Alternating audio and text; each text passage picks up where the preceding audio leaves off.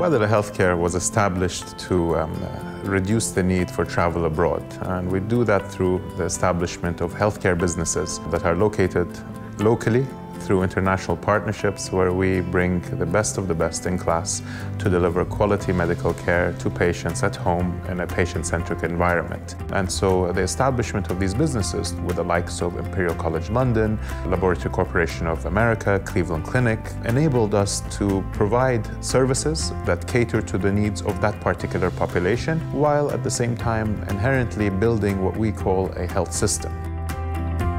Of course, we'll continue to create impact not only by expanding our services to meet the wider needs of the population in terms of their uh, clinical needs, but at the same time, we're more importantly creating a sustainable environment as an employer.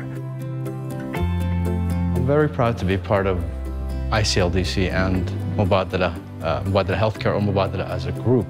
I've been with Mubadala since 2006.